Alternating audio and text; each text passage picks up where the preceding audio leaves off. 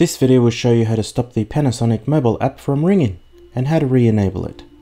On the left hand side I've recorded what to do on your Apple device. On the right hand side I've recorded what to do on your Android device. And the middle screen I'm just using that to make the phone calls.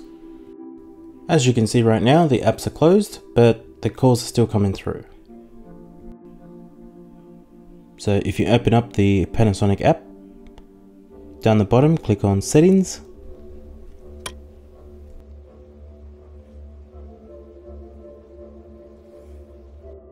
Then up the top you'll see push notifications. You just got to turn that off. Then you got to wait for the icon on the top left hand corner to turn green again.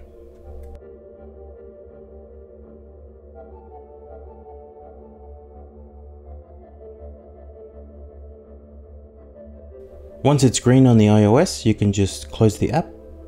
On an Android device, you've got to manually click exit with the icon on the top right hand corner, depending on the Android device you have. It could be under a menu. Now that we've done that, I'll make another call.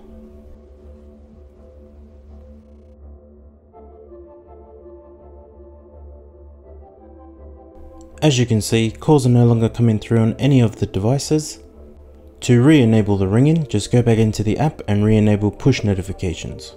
Just make sure when you enable push notifications, you wait for the icon to go green again before you exit the app. Hope this video was useful. Thank you for watching. Take care.